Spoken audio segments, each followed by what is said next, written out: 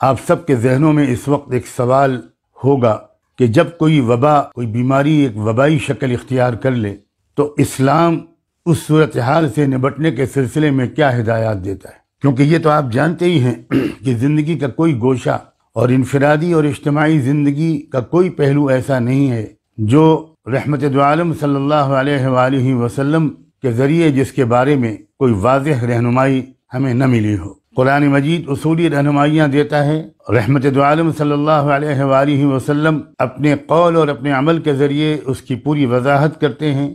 پھر صاحب کرام اور صحابیات اور حضرات اہل بیت، یہ سب کے سب جس طرح اس پر عمل کرتے ہیں تو اس کے بعد وہ رہنمائی بالکل بے غبار اور بالکل واضح ہو کر انسانیت کے سامنے اور بالخصوص امت مسلمہ کے سامنے آ جاتی ہے۔ بہت واضح طور پر اللہ کے رسول صلی اللہ علیہ وآلہ وسلم کا ایک ارشاد ان دنوں میں آپ نے، آپ میں سے بہت سے لوگوں نے بار بار سنا ہوگا۔ آپ نے ارشاد فرمایا، اذا سمعتم الطاعون بأرض فلا تدخلوها، وإذا وقع بأرض وأنتم فيها فلا تخرجوا منها۔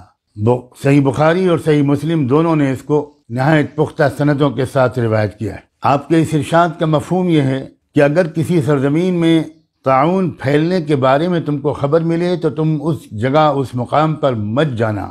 اور اگر تم وہیں رہتے ہو، وبا ایسی جگہ پھیلے تم جہاں مقیم ہو، تو تم وہاں سے باہر مت نکلنا۔ یہی تو ہے آئسولیشن یہی تو ہے قرنطینہ۔ قربان جائیں کہ رحمت دعالم صلی اللہ علیہ وآلہ وسلم نے ڈیڑھ ہزار سال پہلے تقریباً انسانیت کو یہ آسان، فطری اور سائنٹیفک اصول وباؤں سے متاثر ہونے کے سلسلے میں بتا دیا تھا۔ اب آپ ذرا اس کو بھی غور سے سنیے کہ وبائیں پھیلیں صحابہ کرام کے دور میں اور بعض بہت اجل صاحب کرام ان وباؤں کی زد میں بھی آئے اور ان کا انتقال اور جو یقیناً شہادت کی موت تھا حدیث کے مطابق، دوسری حدیث کے مطابق، وہ اس وبا کے زیر اثر ہی ہوا۔ اسی وبا کے نتیجے میں بظاہر اسباب ہوا۔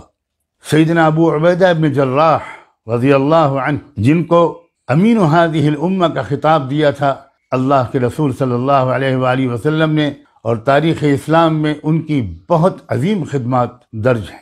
ان کا انتقال بھی اسی بیماری میں مبتلا ہو کر، اسی وبائی بیماری میں مبتلا ہو کر ہوا تھا۔ سیدنا معاذ ابن جبل رضی اللہ عنہ، جن کو اللہ کے رسول نے وہ خطاب دیا تھا کہ یہ یہ میرا ساتھی اللہ کے رسول کا رسول ہے۔ جب ان کو یمن کی طرف بھیجا جا رہا تھا اہل یمن کی رہنمائی اور رہبری کے لیے، تو اس وقت اللہ کے رسول نے ان سے کچھ سوالات کیے تھے اور ان کے جوابات سے خوش ہو کر آپ نے ارشاد فرمایا تھا کہ الحمد للہ فقہ رسول رسول اللہ۔ اے اللہ، آپ کی تمام تعریف ہے کہ آپ نے اپنے رسول کے رسول کو دین کی گہری سمجھ عطا کر دی۔ پھر سیدنا معاذ، یہی معاذ ابن جبل، جن کا میں نے ابھی تذکرہ کیا، غور سے سنیے، وہ خود اسی تعاون کی بیماری میں مبتلا ہو کر شہید ہوئے۔ ان کے دو، ان کے اہلیہ مکرمہ اور ان کے دو صاحبزادے وہ بھی اسی بیماری میں مبتلا ہو کر شہید ہوئے۔ اور تاریخ کی کتابیں بتاتی ہیں کہ تقریباً پچیس ہزار افراد اس وبا کا شکار ہوئے تھے اس وقت، جن میں صحابہ کرام بھی تھے اور تابعین بھی تھے۔ کیا مطلب ہوا اس کا؟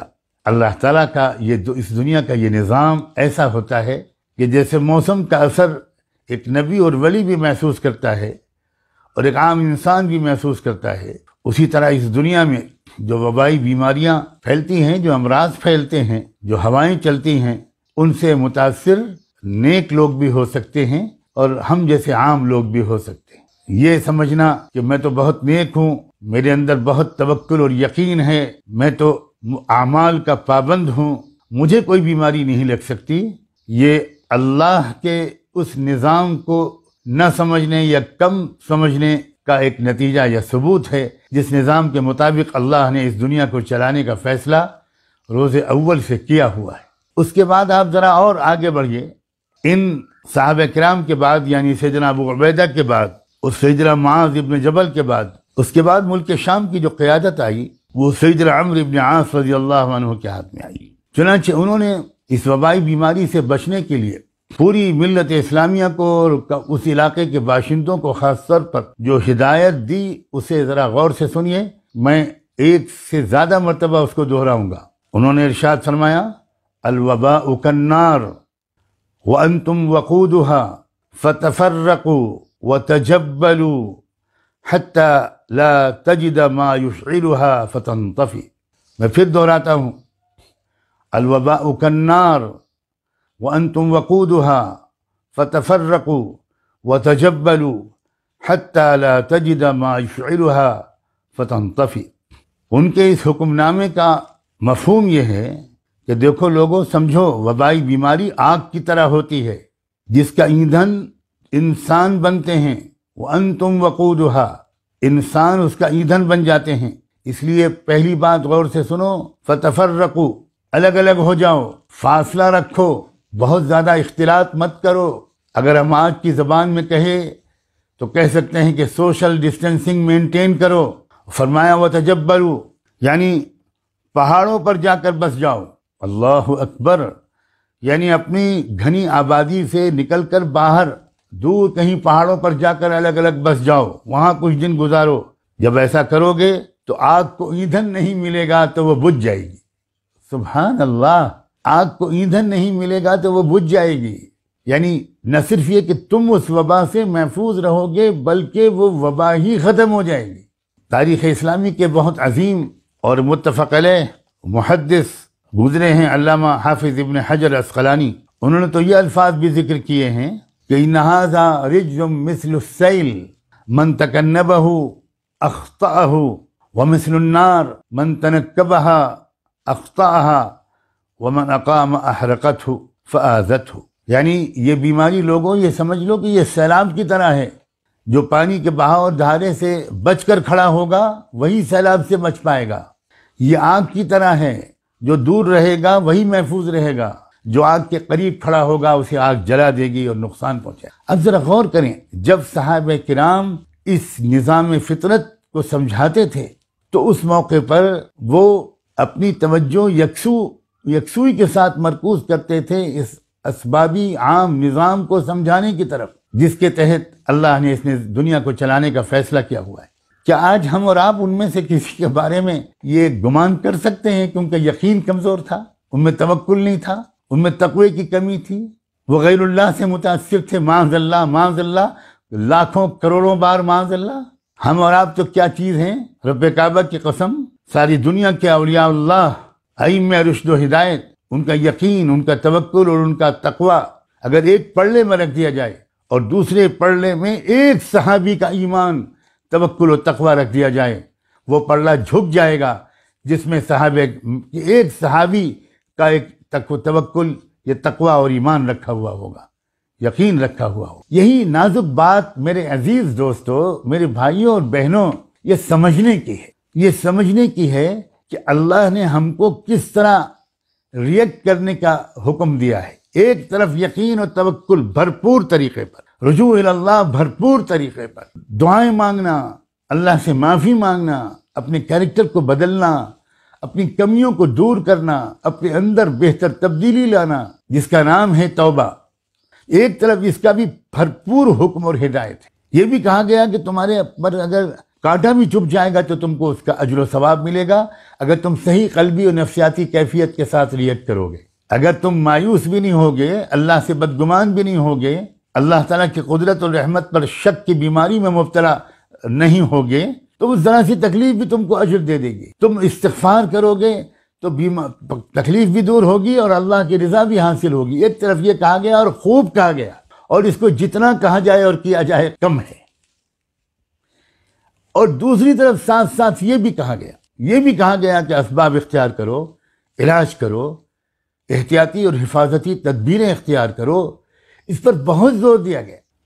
ذرا غور کیجیے۔ سیدنا عمر بن عاص اپنی امت کو ہدایت دے رہے ہیں۔ اور کیا کہہ رہے ہیں؟ وبائی شکل میں ایک دوسرے کے ساتھ نہ رہو، الگ الگ ہو جاؤ۔ کتنا سائنٹیفک دین اور شریعت ہے اسلام۔ قربان جائیں۔